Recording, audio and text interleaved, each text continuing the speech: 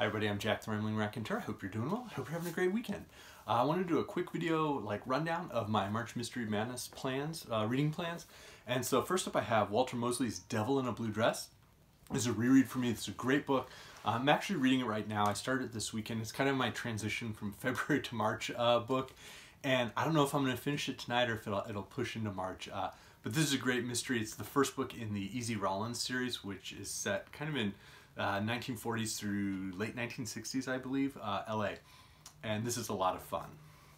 Uh, that could fulfill either my person or color prompt, but for color, I'm actually going to go with John D. MacDonald's Darker Than Amber. Um, I read Bright Orange for the Shroud last year in March, and uh, I, I really enjoy the Travis McGee series. Part of what's like really interesting about it is they're not just like fun mysteries that move but um, they also they span so many years that we really get to see the United States changing and the world changing um, through like Travis McGee, what he sees happening in Florida and in the U.S. Um, around him, and that's part of what makes this series fun. So darker than amber. For my weather prompt, I have Nevada Barr's Ill Wind. Uh, Nevada Barr writes a series of mysteries set um, with a character named Anna Pigeon who works in the National Park Service. And so men, most of them are set um, in national parks or at national monuments or like national recreation areas. This one's set at Mesa Verde in uh, Colorado. And it's one of the early Nevada Barr books. Um, Track the Cat is the first one in that series. I highly recommend it. Uh, I know some people don't enjoy it as much, but my wife, my father-in-law, my father-in-law, and I all did. Uh, for my single word title prompt, it'll be Roseanna by uh, and Wahlöö. And this is the kickoff book in the great Martin Beck series. It's 10 books written by a husband and wife uh, team. And again, really what makes these 10 books special is not just that they're absolutely fantastic police procedurals. Probably the single like best series of police procedurals that I've ever encountered. Um, if, if you have one you prefer more, let me know in the comments, please.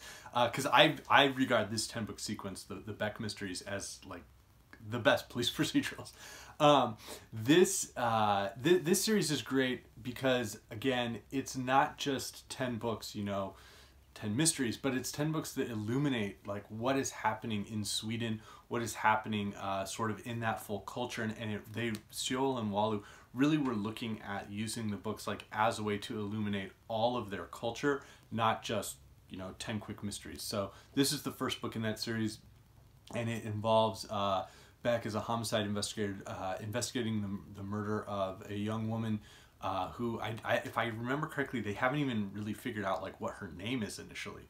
Um, yeah, no clues. So it's it's very very good.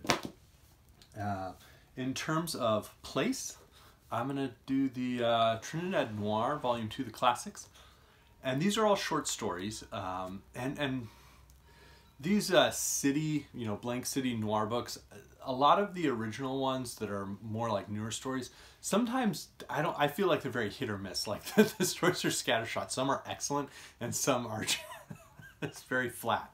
Um, but the volume two series that were older stories that had been published, you know, previously, uh, all set in certain cities are dynamite. And so I'm really looking forward to reading uh, this volume and sort of seeing what you know it illuminates you know about uh, about Trinidad and Tobago, but also just some great writing. Uh, for my uh, person prompt, uh, it's going to be The Conjure Man Dies by Rudolph Fisher. And I have it in this great Harlem Renaissance four novels of the 1930s. Got a really cool like dust jackets. This is part of a two volume series uh, Library of America did some years ago and um, I believe Conjure Man Dies was just reprinted and possibly re-released this year, maybe in the last month, um, because um, I've been seeing it pop up. I think that my wife sent me an article about it from some online review, uh, but I'm looking forward to reading that. It's one of the earliest mysteries uh, with like you know a, a black detective, so looking forward to reading that. Please don't spoil any of these. Uh, in terms of number, this will be the one I may not actually get to, but we'll see and that would be Tokyo Year Zero by David Peace, which is the first of his uh, sort of Tokyo trilogy. Um, and I really enjoyed David Peace. I've read five of his books. I read the Red Riding Quartet and I read GB84, and I I really really enjoyed all of them. So I'm looking forward to reading this. Um, I don't know if this will be sort of at the end of the month, and I'm not sure if I'll get to it, but I'll be reading it at some point this year if I don't get to it. Uh, so those are my sort of March Mystery Madness reading plans. Uh, some varied crime fiction, but I, am looking forward to each of these books, um, and I'll hopefully get to discuss some of them with you guys. Uh, there are many hosts to March Mystery Madness. There are more hosts to March Mystery Madness than there are suspects in Murder on the Orient Express, but I'm going to try to find all their channels and link them below. I know I've watched uh, an, TBR videos and sort of announcement videos from Jen at Remembered Reads and the Bookish Bryants.